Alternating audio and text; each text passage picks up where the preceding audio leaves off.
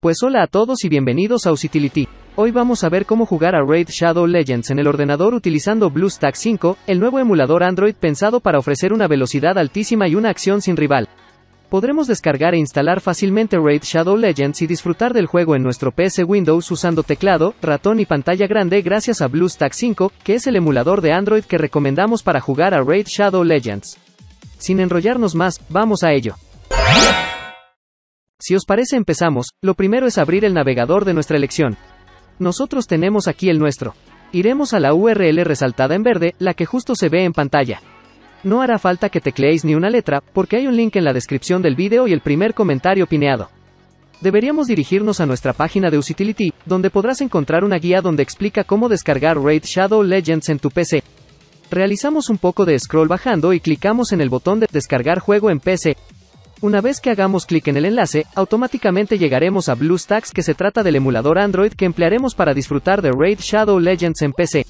Ya os habréis percatado de que usar el emulador nos ofrece muchas mejoras. Controles personalizados, múltiples instancias de emulador y sincronización total, macros, ejecución de script, etc. Ahora procederíamos a descargar el Raid Shadow Legends haciendo clic en el botón de juega en BlueStacks que hemos resaltado en verde.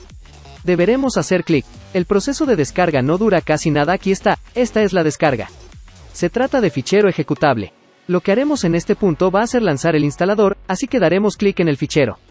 Si ejecutamos en Windows 10 nos habrá pedido permiso para realizar cambios en el dispositivo. Le hemos dicho que sí.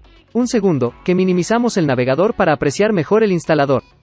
El instalador es sencillo de usar. Básicamente dispone de dos opciones, instalación rápida e instalación personalizada. Os voy a explicar qué hace instalación personalizada. Sencillamente hacemos clic, tal como se muestra, se nos indica la ruta donde se instalará el emulador. Si quisiésemos modificar este directorio habría que hacer clic en el botón de Elegir ruta, y elegiríamos otro directorio para instalar el emulador donde prefiramos. Esta vez lo dejaremos tal cual. Clicaremos en Volver. Deberemos pulsar en Instalar para continuar. Ahora sí, ahí lo tenemos.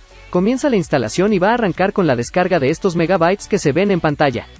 Cuando realicéis vosotros la descarga, podría ser que sean más o menos megas. Como todo, la velocidad de descarga puede variar bastante en función de diferentes factores, como podrían ser la calidad y velocidad de nuestra conexión, así como la saturación de los servidores de descarga en ese periodo. Hoy parece que están a pleno rendimiento. Cuando se finaliza la bajada, se empieza la fase de instalación. Podrás incluso bajar el uso de RAM con un simple clic. Esto es bastante útil especialmente si en alguna ocasión sufres algún problema de rendimiento, también dispones de la posibilidad de activar el modo eco y bajar en un 87% el uso del procesador y un 97% de la GPU además de una multitarea mucho más básica como se puede ver, BlueStacks 5 está hecho para dar estabilidad y rendimiento en sesiones largas de juego. En mi caso la instalación ha finalizado. Ahora, el emulador se ha abierto él solo. Como podéis comprobar, aquí abajo, hay una barra de progreso que se va a completar y cuando llegue al final, se lanzará el emulador por primera vez. Ya estamos viendo el emulador por primera vez, aquí lo tenemos. Si nos paramos un segundo, como observaréis, ha creado algunos iconos en nuestro escritorio de la máquina. El correspondiente al BlueStacks y el del BlueStacks Multi-Instance. Hay que aclarar que el que nos debería importar es el del BlueStacks es el que nos interesa. Siempre que queramos utilizar Raid Shadow Legends en el PC, haremos doble clic en el icono y ejecutaremos el emulador. El icono relacionado con BlueStacks Multi-Instance nos permite iniciar varias instancias del emulador. Y con el nuevo y renovado gestor de diferentes instancias de BlueStacks 5 en modo eco, los jugadores pueden llegar a lanzar más instancias de juego en menor tiempo y con un lag ínfimo. Vamos a realizar el siguiente paso, que es imprescindible, y que va de acceder a la Google Play Store. Vamos a dar clic en la Play Store. Como comprobaréis, se abre la Google Play. En este punto deberemos que hacer login. Cuando estemos en este paso, habrá que realizar el siguiente paso de forma obligada.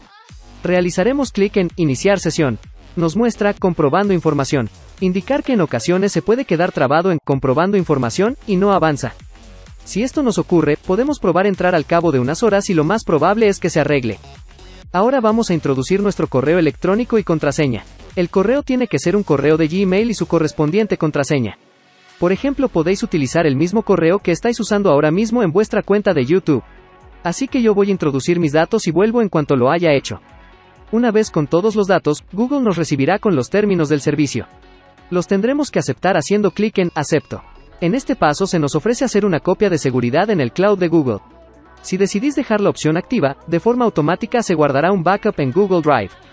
En mi caso no lo activaré, vosotros haced lo que queráis. Haremos clic en Acepto. La Google Play se ejecuta por defecto y de forma automática. Para instalar el juego lo principal es dirigirnos al escritorio del emulador realizando clic en este icono indicado en verde.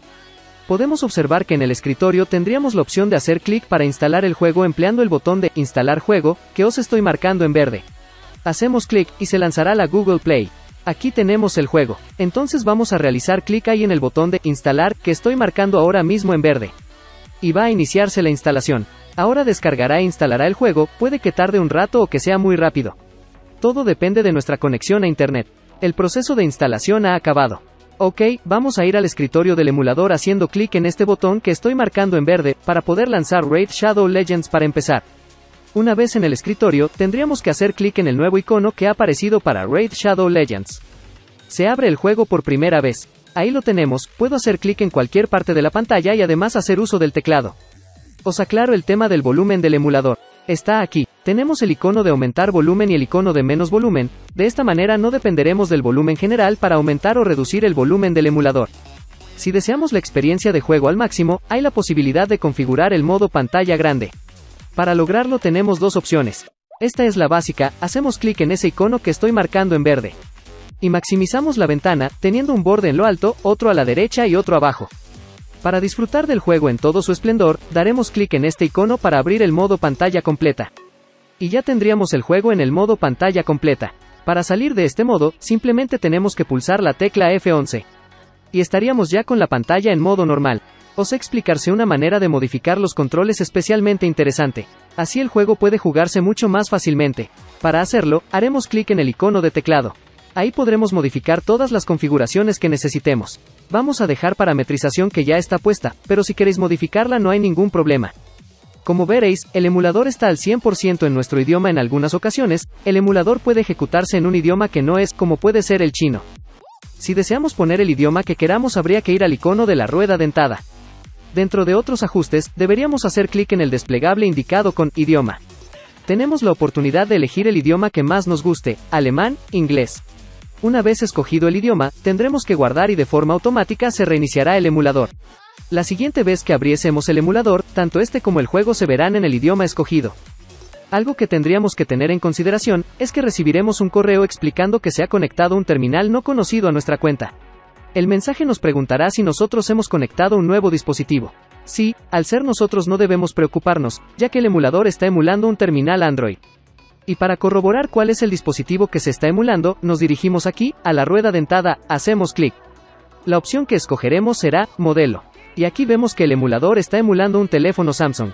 Y por eso nos llegará un correo indicando que se ha aparejado un nuevo dispositivo Samsung a nuestra cuenta de Google. Así que nada gente, lo dejaremos hoy aquí. Espero que os guste, sobre todo que os haya sido útil. Si es así, dadle un gran like, suscribíos, y cualquier comentario, inquietud o sugerencia, la podéis dejar en la parte inferior en la caja de comentarios.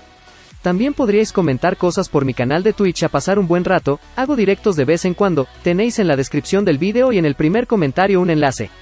Clicad en alguno de los vídeos que os salen en pantalla y nos vemos en los próximos vídeos. Chao.